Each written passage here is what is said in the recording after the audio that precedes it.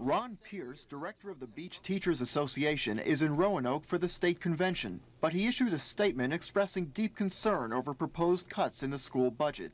Emergency meetings will be held next week.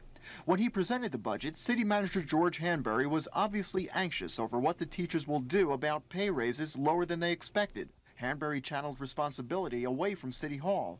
In the past, the City Council has granted all requests of the school board. If any inequity exists, it was not created by the City Council of Virginia Beach.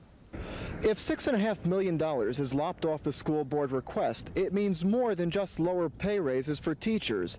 It means some existing programs in the school system will have to be cut as well.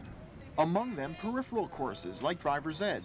Displeased with the prospect of reducing city services, Beach Mayor J. Henry McCoy favors a real estate tax hike higher than the 9 cent boost proposed.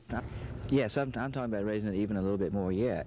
McCoy says maybe as high as 15 cents. I don't want it to be, but if that's what it takes, then I'm willing to talk about it.